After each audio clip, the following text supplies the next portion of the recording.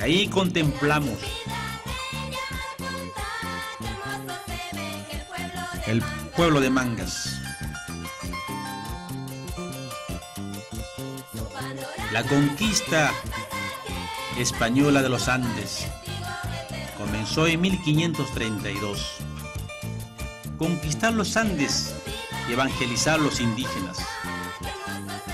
Junto a Mangas existió una mina en Achcaihuaín.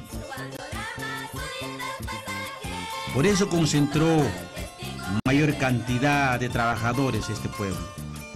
Entonces era necesario la presencia de los colonizadores y por eso se instalaron en Mangas los sanfranciscanos y construyeron las dos iglesias que hasta ahora conocemos.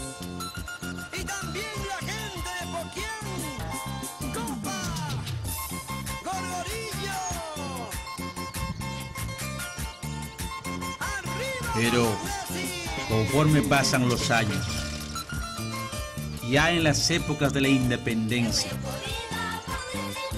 Mangas, un lugar con presencia en la historia nacional, de acuerdo a la primera constitución política del Perú, aprobada en 1822, se crea como distrito.